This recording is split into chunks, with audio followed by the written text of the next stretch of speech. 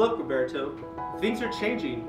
It's been a whole year and we're coming out of COVID, and you're looking a little tired. So I have an idea. I've talked to some of our chamber members, and we're going to give you a new look.